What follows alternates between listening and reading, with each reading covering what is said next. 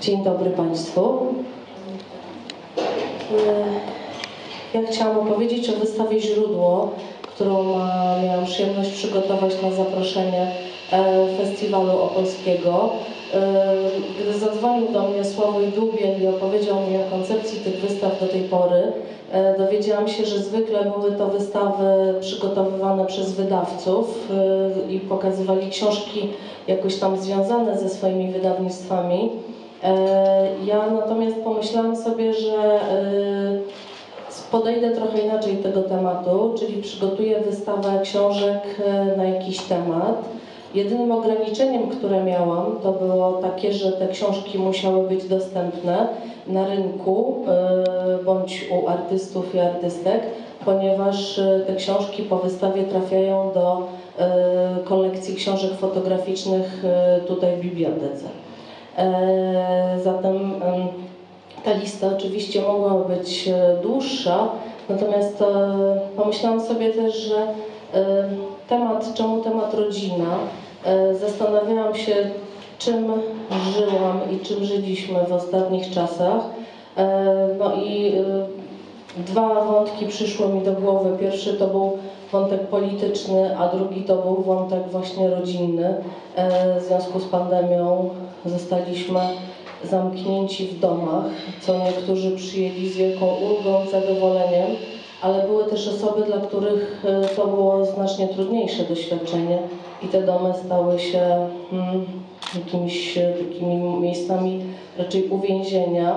Natomiast e, był to na pewno czas, kiedy e, mieliśmy okazję spojrzeć na nasze relacje rodzinne na nowo, w zupełnie innym trybie i w zupełnie innym czasie.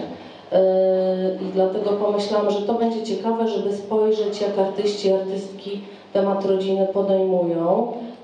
Starałam się znaleźć takie książki, które są ważne.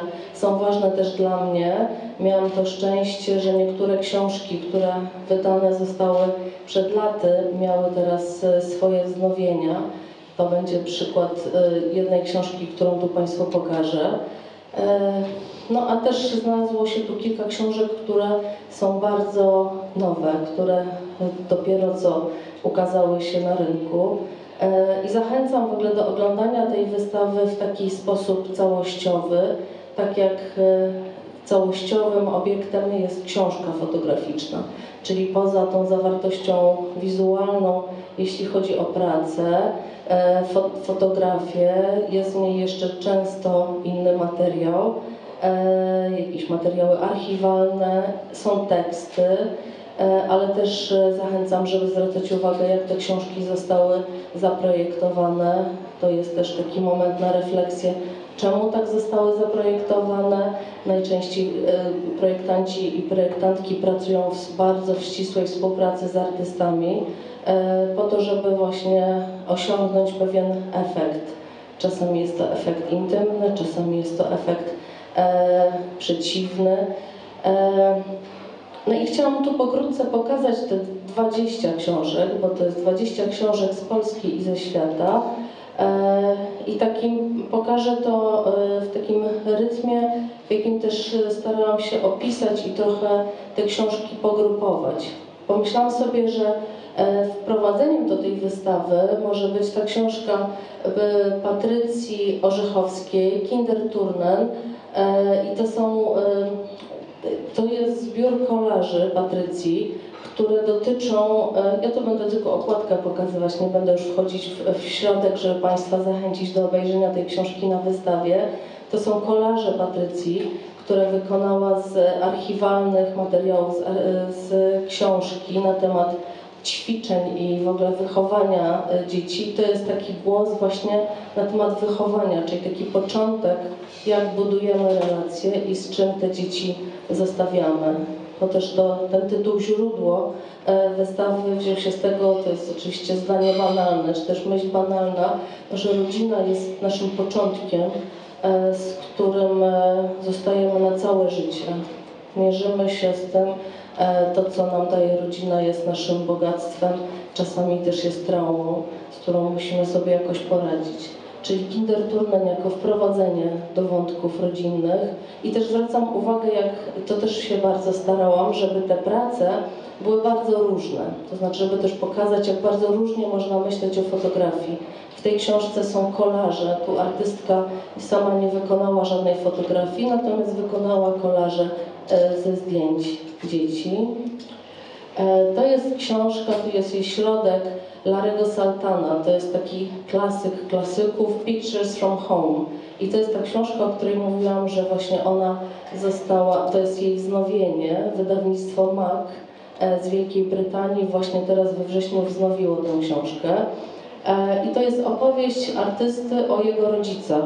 On fotografował ich przez kilka lat jak Państwo widzą, są też w nich teksty artysty o tym właśnie, o relacji z ojcem, z matką.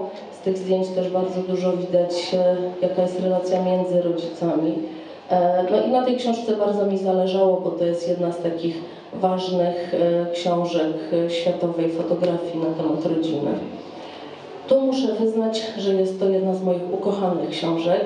Jest to książka Sophie Kal, Rachel Monique o jej matce. O jej matce, która, e, jak sama e, artystka e, przyznaje, narzekała przez całe życie, obserwując karierę artystyczną córki, że, cór, że sama matka nigdy nie stała się tematem twórczości córki. I córka sięgnęła po aparat, jak matka była już na łożu śmierci i niemal ostatnie jej słowa to były finally, czyli wreszcie się mną zajęłaś. E, I ta książka jest niezwykle wzruszająca, ale jest też bardzo dowcipna, co mi się bardzo w niej podoba. Jest bardzo pięknie zaprojektowana. E, Jest tu mnóstwo materiałów archiwalnych pokazujących tę matkę jako osobę niezwykle e, pełną życia i czerpiącą pełnymi garściami. A na końcu są też takie artystyczne przetworzenia Sophie Kal, e, związane właśnie z jej relacją z matką. Także ja tę książkę bardzo lubię. Ona jest tu na wystawie w wersji angielskiej. E, Oryginalnie ukazała się w języku francuskim. To jest e, maleńka książka, choć to zdjęcie jest duże. E, I to jest, myślę, dla wielu zaskoczenie, tak jak dla mnie to było zaskoczenie, bo to jest książka Henry'ego Franka, znaczy ze zdjęciami Henry'ego Franka, który był ojcem Roberta Franka, e, wielkiego fotografa, którego większość z nas prawdopodobnie zna z książki choćby The Americans, takiej bardzo przełomowej w historii fotografii. A e, tutaj Robert Frank zajął się zdjęciami swego ojca, który był fotografem amatorem, ale e, bardzo tak intensywnie fotografował swoją rodzinę przez całe lata.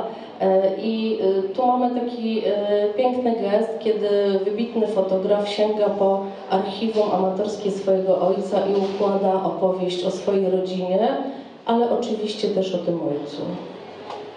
Zachęcam, to jest maleńka, bardzo piękna książka. Wydało ją wydawnictwo Steidl. To jest jedna z takich książek, które się niedawno ukazały. Japońskiej artystki Rinko Kawauchi, As It Is. I to jest książka o macierzyństwie. E, Tu na tej wystawie bardzo mi zależało, żeby pokazać perspektywę macierzyństwa, ale też tacierzyństwa.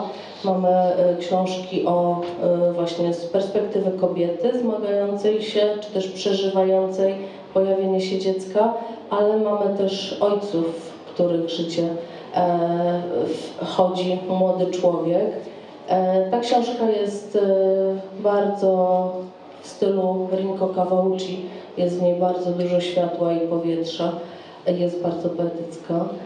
A to jest książka, którą dała mi Beata Chmielewska, nazywa się Zigi, duńskiej artystki, która z kolei w sposób amatorski przez całe lata fotografowała swoją córkę.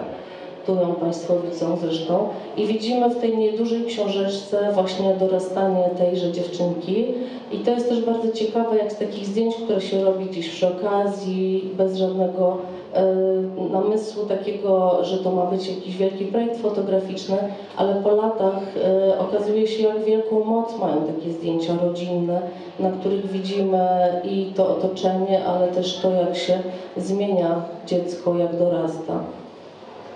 E, Tu z kolei jest e, książka Brother and Sister i to jest tym razem o relacji jak tytułowych brata i siostry. E, Tu mamy taką serię skandynawskich książek. Tu Elin Holland zrobiła zdjęcia. To jest taka dokumentalna książka pokazująca bardzo interesującą relację między bratem a siostrą i o ich domach, o ich domu, o ich domach znowu. Także to jest, bardzo zachęcam, żeby ją przejrzeć. E, A tu z kolei Anna Klaren Close to Home i to jest znowu doświadczenie artystki e, jej życia rodzinnego, ale też takiego życia rodzinnego rozumianego szerzej e, jako jej otoczenie. To jest wstrząsająca książka Karoliny Jąderko, e, autoportret z matką. Tu artystka opowiada o zmarłej matce. Mamy też taką, e, wybrałam trzy książki, które właśnie mm, dotykają takiego tematu próby zrozumienia swojego rodzica, którego już nie ma i którego się tylko e, poznaje poprzez e, rzeczy, które gdzieś e, po nim zostały takie fizyczne, ale też wspomnienia. Tu Karolina fotografuje się w ubraniach swojej mamy, która odeszła. Rafał Siderski, Wyjedź, zostań. E, Kolejna bardzo poruszająca książka o próbie e, nakreślenia obrazu ojca, który e, zmarł, czy też zginął tragicznie w Stanach Zjednoczonych, gdy artysta miał, był małym chłopcem. Więc właściwie wspomnienie tego ojca jest jedynie poprzez zdjęcia, które po nim zostały, jakieś trudno zapamiętane, ledwo pamiętane rozmowy telefoniczne. E, I on, e, Rafał próbuje e, zbudować obraz ojca, rozmawiając też z członkami swojej rodziny, ze swoją babcią, ze swoim bratem, ze swoją matką, z bratem ojca. Ta książka składa się z takich mniejszych części, jak Państwo widzą. To jest z kolei bardzo dowcipna książka o czymś, właśnie o bardzo trudnej relacji córki z ojcem. Ona nazywa się My Father's Legs e, Sary Perowicz, e, serskiej e, artystki. To jest nieduża książeczka, która właśnie poprzez, e, tam jest też bardzo niedużo tekstu, więc zachęcam, żeby sobie go też e, przeczytać, bo to też dobrze pokazuje, jak bardzo niedużym tekstem, dosłownie po jednym zdaniu, można zbudować bardzo taką wstrząsającą opowieść.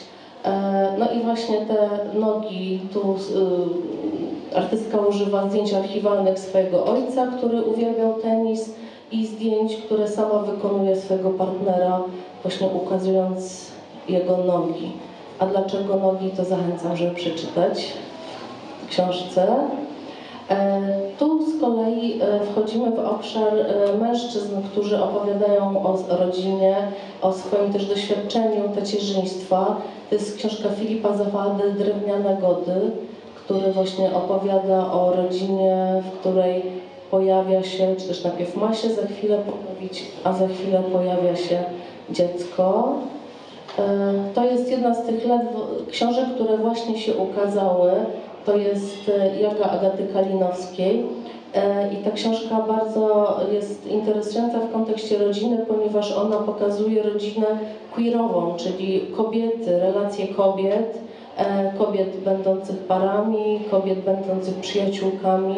E, I myślę, że to też jest bardzo ważne, żeby na wystawie o rodzinie taka książka o e, e, innym rodzaju rodziny, e, takim jeszcze, który nie, nie często pojawia się e, w książkach, e, żeby właśnie tutaj tę książkę można było obejrzeć. E, To jest książka, którą e, z innej, e, z kolei mam do niej oczywiście sentyment, ponieważ wydaliśmy ją jako Galeria Jednostka. E, Książka Weroniki Gęsickiej Traces, czyli Ślady. Tu z kolei Weronika e, posługuje się archiwalnymi zdjęciami z amerykańskich stoków z lat 50. i 60., tworząc kolaże, właśnie po to, żeby zastanowić się nad e, pamięcią, nad możliwością fotografii tej pamięci, zachowania, ale przede wszystkim nad relacjami, relacjami w rodzinie, rolami kobiet, mężczyzn w tych rodzinach. Mm, Bardzo y, już y, ta książka ukazała się w 2017 roku. E, Tu jest y, zupełnie inaczej fotografia dokumentalna wykorzystana. Joanna Piotrowska i książka Fraust, w której e, Joanna mm, robi inscenizację, używa zdjęć archiwalnych z albumów rodzinnych, również swoich, ale nie mówi nam, które są z jej archiwów e, i prosi dorosłe osoby, by odegrały rolę dzieci. Czyli na zdjęciach były dzieci i później te dorosłe osoby wchodzą w rolę dzieci. Te zdjęcia są bardzo niepokojące, są takie, e, niektóre właśnie są bardziej dowcipne, ale w wielu jest też bardzo dużo napięcia. To jest książka, którą widzimy w tej formie, Negative Book Agaty, e, Anety Grzeszykowskiej. E, Ta forma wydana przez Zachęty niestety nie jest już dostępna, ale Łukasz Gorczyca z Galerii Raster podarował nam na tę wystawę mm, dodruk w nieco innej formie. Bardzo interesujący zabieg, kiedy Aneta Grzeszykowska fotografuje się e, mm, w różnych układach, znaczy też w towarzystwie swojej rodziny, swojej córki. E, I jest negative book, ponieważ Agata jest, e, tak się, te zdjęcia są w negatywie, natomiast Aneta jest jedyną osobą, która pozornie się nie zmienia, znaczy zostaje biała. Też zachęcam, żeby to zobaczyć i też poczytać o tej książce więcej, jak artystka tego dokonała. Tu jest książka, którą podarowała Dominika Sadowska, Opolanka i Dominika ma też tutaj wystawę na festiwalu, więc tym bardziej się cieszę, że udało nam się tę książkę na tej wystawie pokazać. Też e, to jest bardzo wyjątkowa sytuacja, bo Dominika zrobiła e, dami, czyli makietę tej książki i ją e, wydaje w, w, wtedy, kiedy potrzeba, wtedy tę książkę produkuje. To specjalnie dla nas tę książkę wyprodukowała. To jest bardzo interesujący przykład, jak można opowiedzieć macierzy, o macierzyństwie e, w taki sposób e, bardzo mm, artystyczny. Dominika przetwarza, przetwarza rzeczywistość, która ją otacza. Jak sama mówi, powstały te zdjęcia podczas pandemii, kiedy musiała wyjechać, zostawić swój, swoje mieszkanie, swoją pracownię. E, Tu jest nieduża książka Marty Przybyło pod tytułem Wzrosty. I tu jest znowu e, taki, te, takie przetwarzanie macierzyństwa, e, opowieść o tym, jak ma się artystka e, w tej sytuacji i próba zrozumienia przy okazji siebie w kontekście pojawienia się dziecka. A tu mamy znowu tę grupę e, książek o ojcostwie. I tu będą dwie ostatnie książki z tej wystawy. Krzysztof e, Solarewicz Poród i książka, która e, była nagrodzona w konkursie Grand Press jako książka roku. E, Jest to książka Grzegorza Dębińskiego List do chłopca z latarką. E, I też e, to jest taka książka, która jest bardzo poruszająca, bo ona mówi i o ojcostwie, ale też o, o inności i o tym, jak można próbować z tą innością sobie poradzić, jak można zrozumieć drugiego człowieka, ale też co jest bardzo ważne, że czasami nie trzeba tego człowieka zrozumieć, ale można go zaakceptować i doświadczać z nim bardzo ważnych rzeczy. E, Tu jest e, bardzo piękne zdjęcia e, i bardzo poruszający tekst na końcu, więc zachęcam Państwa, żeby ten tekst też przeczytać. Mm, I cóż, i to jest te 20 książek. Jak widać, to są bardzo różne, z bardzo różnych obszarów. E, I, I bardzo było mi miło, że mogłam to pokazać. Też chcę powiedzieć, że e, temat książek jest mi bardzo bliski, ponieważ też tutaj był jeden przykład książki, którą e, miałam okazję wydać, czyli Tracy z Weroniki Gęsickiej, ale też przywiozłam grupkę książek, które wydałyśmy i jako Wszyscy jesteśmy fotografami Moniką Szewczyk-Witek, to co Sławoj wspominał o książkach i przywiozłam też najnowszą książkę, którą e, wydaliśmy jako Galeria Jednostka na Warsaw Gallery Weekend, który właśnie się zakończył w miniony weekend i to jest książka Strajk.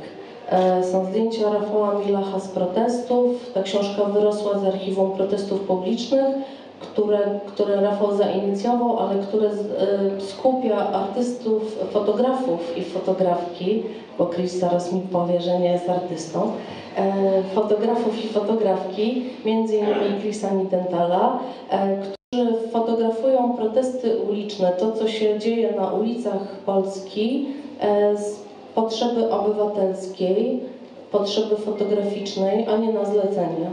E, Te zdjęcia można z archiwum protestów oglądać na stronie archiwumprotestów.pl, to jest strona dwujęzyczna, a Rafał tu w tej książce zajął się strajkiem, strajkami kobiet, które rozpoczęły się w październiku zeszłego roku i rok po strajkach, e, czy też po wybuchu tych strajków w wyniku orzeczenia tak zwanego Trybunału Konstytucyjnego, e, to jest dobry moment, żeby się zastanowić nad tym, co zostało z tych protestów, ale też nad rolą fotografii i rolą fotografów i fotografek dokumentujących protesty. Są tu trzy teksty Karoliny Gębary, e, Oli Boćkowskiej i Iwony Kusz, różnie te, e, te zjawiska analizujące, a okładkę zaprojektowała Ola Jasionowska w reakcji na jedno ze zdjęć Rafała Milacha, autorka Błyskawicy e, strajkowej. Także te książki można kupić e, z, tu przed e, naszą e, przed salą, a zapraszam bardzo na wystawę Źródło schodkami w dół. Ja bardzo dziękuję. dziękuję.